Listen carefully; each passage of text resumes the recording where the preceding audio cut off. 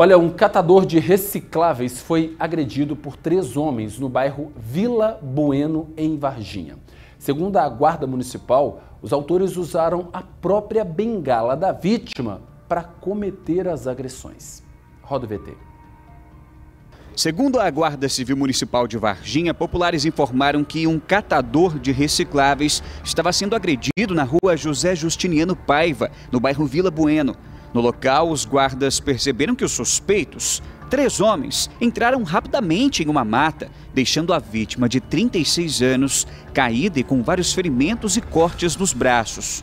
A vítima de 36 anos contou para a Guarda Civil Municipal que foi agredida pelos três homens bem aqui perto dessa área de mata. Ainda de acordo com os guardas, os autores usaram a própria bengala da vítima para cometer as agressões. Os suspeitos teriam acusado a vítima de ter roubado um portão, que foi negado pelo homem prontamente. Ainda recebeu atendimento médico pelo SAMU, foi encaminhado até o Hospital Bom Pastor, onde recebeu todos os atendimentos médicos. Lá no hospital, o homem ainda contou para os GCMs quem eram os autores da agressão. Olha, a mesma coisa que eu falei em três